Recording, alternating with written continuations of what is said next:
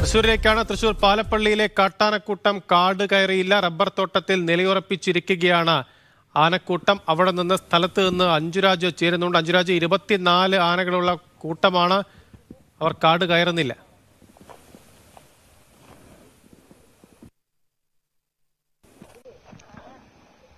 രാവിലെ ആറര മുതലാണ് ഈ കാട്ടാനക്കൂട്ടം പുതുപ്പള്ളി പാലപ്പള്ളി ആ, കാട്ടാന കാട്ടാനക്കൂട്ടം അതിൽ നാല് കൊമ്പന്മാരുണ്ട് കുട്ടിയാനകളുണ്ട് തീരെ ചെറിയ ആനകൾ കൂടിയുണ്ട്. അവരിപ്പോഴും അഞ്ച് അഞ്ചര മണിക്കൂറായി വനമേഖലയോട് തൊട്ടു ചേർന്ന പ്രദേശങ്ങളാണ്. നമുക്ക് section forest officer Seena madam നമുക്കൊപ്പം ചേരുകയാണ്. ഫോറസ്റ്റ് ഉദ്യോഗസ്ഥരെല്ലാം ഇവിടെ വന്നിട്ടുണ്ട്. അവരിതിനെ പരമാവധി തുരത്തി കാട്ടിലേക്ക് അയക്കാൻ നോക്കുകയാണ്. നമുക്കൊപ്പം ചേരുകയാണ്. ഫോറസ്റ്റ് ഉദ്യോഗസ്ഥരെല്ലാം ഇവിടെ വന്നിട്ടുണ്ട്. അവർ ഇതിനെ പരമാവധി തുരത്തി കാട്ടിലേക്ക് അയക്കാൻ നോക്കുകയാണ്. പരമാവധി നമ്മൾ ശ്രമിക്കുന്നുണ്ട് അല്ലേ? ആ ഞങ്ങൾ രാവിലെ തൊട്ട് വന്ന് നോക്കുന്നതാണ് ഞങ്ങൾ അവിടെ നാട്ടി ഇവിടെ വരെ എത്തിയിട്ടുണ്ടാണ് കാടിനോട് ചേർന്നെത്തി. അപ്പോൾ കരാറായിട്ടുണ്ട് ഏകദേശം. അങ്ങനെ വലിയ തോതിലുള്ള ഒരു ആക്രമണ സ്വഭാവം ഒന്നും കാണിക്കുന്ന തരത്തിലേക്ക് ഒരു റിപ്പോർട്ടുകളൊന്നും മുന്നേ ഉണ്ടായിരുന്നില്ല ഈ ആനയ്ക്ക്? ഇല്ല അവർ അത്ര ഇതായിട്ട് വയലന്റ് ഒന്നല്ല ഞങ്ങൾക്ക് ഇത്ര അടുത്ത് വന്ന് പറ്റില്ലല്ലോ. നമ്മൾ വയലന്റ് ആണെങ്കിൽ നമുക്ക് ഇത്ര അടുത്ത് വന്ന് നിൽക്കാൻ പറ്റില്ല. അപ്പൊ തൊട്ടടുത്ത് അങ്ങനെ അവർ തമ്മിലുള്ള എന്തെങ്കിലും പ്രശ്നം ഉണ്ടെങ്കിൽ ഉള്ളിടുന്നല്ലാണ്ട് ആരോടും ഇതായിട്ട് വയലന്റ് ആയിട്ട് പെരുമാറിയിട്ടില്ല. ഇവിടെ ഇവിടുത്തെ തൊഴിലാളി ഒപ്പം ചേരുകയാണ്. ബിഞ്ചേട്ടാ ഈ രണ്ടു ദിവസമായിട്ട് ഈ ആനകളുടെ ശല്യം ഇങ്ങനെ ഇങ്ങനെ ഇങ്ങനെ ഇറങ്ങുന്നുണ്ട് ഈ കൂട്ടം അല്ലെ? രണ്ടു ദിവസമായിട്ട് ആന ഇപ്പൊ ഇറങ്ങി തുടങ്ങിയിട്ടുണ്ട് ഇതിന് മുന്നേ ഉണ്ടായിരുന്നു.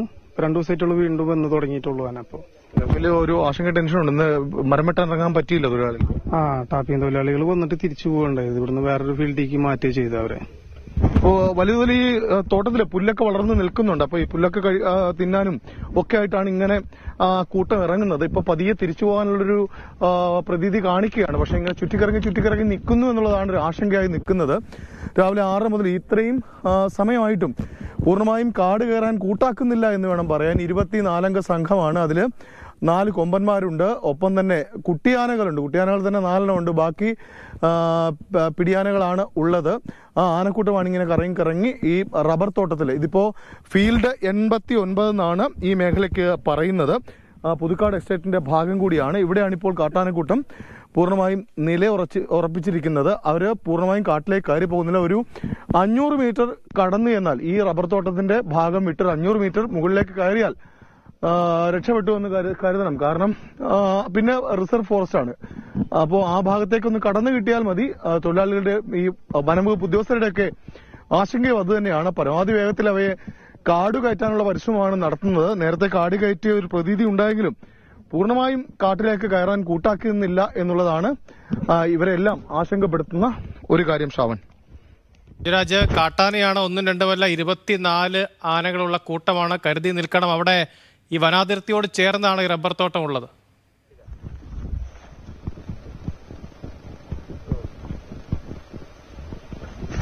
വനാതിർത്തിയോട് ചേർന്ന തോട്ടമേഖലയാണ് പ്രത്യേകിച്ചും ഇതൊരു വലിയ എസ്റ്റേറ്റ് തന്നെയാണ്. പുതുക്കാട് എസ്റ്റേറ്റ് എന്ന് പറയുമ്പോൾ തന്നെ വലിയ റബ്ബർ തോട്ടമുള്ള എസ്റ്റേറ്റ് തന്നെയാണ്. വളരെ സൂക്ഷിച്ച് തന്നെയാണ് ഞാൻ നിൽക്കുന്നത്.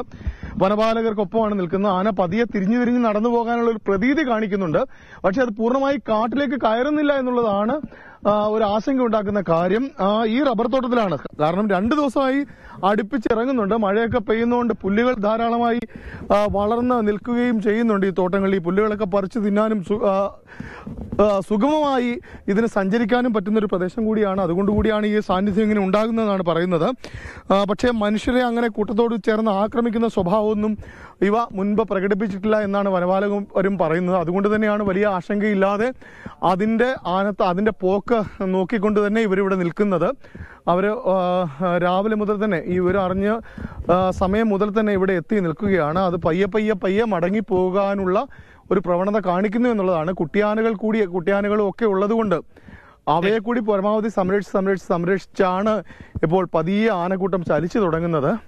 അങ്ങനെ പതിയെ വനവയ മേഖലയിലേക്ക് പതിയെ പതിയെ കയറിക്കൊണ്ടിരിക്കുകയാണ്. ആ ദൃശ്യങ്ങളാണ് നമുക്കിപ്പോൾ കാണിക്കാൻ കഴിയുന്നത്. ആ ആനക്കൂട്ടങ്ങൾ ഒന്നൊന്നായി തൊട്ടടുത്ത നമ്മളിപ്പോൾ നിൽക്കുന്ന ഈ മേഖലയ്ക്ക് ഒരു ചെറിയ ചാൽ പോകുന്നുണ്ട്. ഒരു ചെറിയ ചെറിയ തോടുകളെന്ന് വേണമെങ്കിൽ പറയാം. ആ ചാൽ കടന്ന് ആ വനമേഖലയിലേക്ക് പ്രവേശിക്കാനുള്ളൊരു ടെൻഡൻസിയാണ് കാണിക്കുന്നത്. പക്ഷേ അത് പൂർണമായും കയറിപ്പോകാതെ കയറി എന്ന് പറയാൻ കഴിയുന്നില്ല. ഇരുപത്തിനാലംഗ കൂട്ടമാണ്. വലിയ കൂട്ടം തന്നെയാണ്. അത് തന്നെയാണ് ഒരു ആശങ്കയോടുകൂടി നമ്മൾ ഉറ്റുനോക്കുന്നതും കാണുന്നതും. ശ്രാവണേ ശരി അഞ്ജുരാജ് അവിടെ ദൃശ്യങ്ങളിൽ കാണാം. ഈ തൃശൂർ പാലപ്പള്ളി എസ്റ്റേറ്റിൽ ഇറങ്ങിയ ഇരുപത്തിനാല് ആനകളടങ്ങിയ വലിയ കൂട്ടമാണ് അവർ കാട് കയറ്റാനുള്ള ശ്രമം വനം വകുപ്പ് നടത്തിക്കൊണ്ടിരിക്കുകയായിരുന്നു. ഇപ്പോൾ വനത്തിന്റെ ഭാഗത്തേക്ക് ആനകൾ നീങ്ങുന്നുണ്ട്. അഞ്ജുരാജാണ് അവിടെ നിന്ന് വിശദാംശങ്ങൾ നൽകിയത്.